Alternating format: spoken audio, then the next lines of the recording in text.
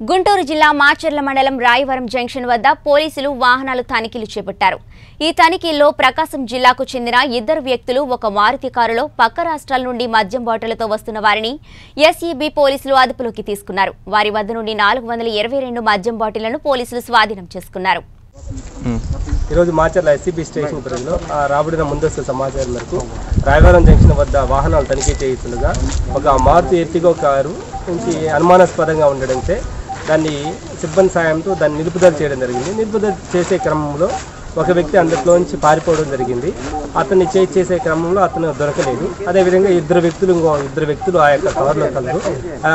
తర్వాత ఎందుకు ఈ కారులో ఏం కలదని అడిగ అడగనించే మద్యం సీసాలు కలవు. అందుకనే మీరు పట్టుకుంటారని నిపంతో అతను పారిపోవడం పారిపోయినాడు. మేము కూడా పారిపోవడం ప్రయత్నించి మీరు పట్టుకున్నారని చెప్పడం జరిగింది.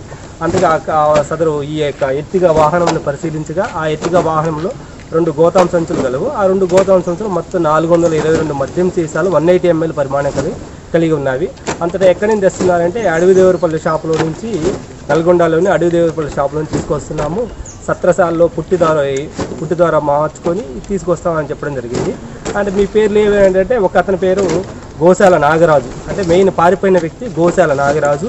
రెండో వ్యక్తి పేరు దొరికిన వ్యక్తులు ఎడ్ల పూర్ణ మరియు కాగితాల పవను. కాగితాల పవను మరి ఎడ్ల పూర్ణ అనే ఇద్దరు వ్యక్తులను అరెస్ట్ చేయడం జరిగింది. అదేవిధంగా గోశాల నాగరాజ్ అనే వ్యక్తిని అరెస్ట్ చేయబడింది. వీరు ముగ్గురు అద్దంకి ప్రకాశం జిల్లా అద్దంకి మండలం సంబంధించిన వ్యక్తులు. అదేవిధంగా వీళ్ళ యొక్క ఏ విధంగా ఇక్కడికి వచ్చి రావడం అంటే దుర్గిలోని నాగూరువులు అనే వ్యక్తి ద్వారా వీళ్ళు పరిచయం పరిచయం రావడం జరిగింది. నాగూరువులు అనే వ్యక్తి అక్కడ నేను చూపిస్తాను. అక్కడ అతను చెప్ అతను చెప్పడంతో అంటే అడవి దేవరపల్లి షాపులోనే తక్కువ ధరకే వస్తుంటాయి. అని చెప్పడంతో వీళ్ళు అక్కడ పోయి తెచ్చుకోరా తీసుకురావడం జరిగింది.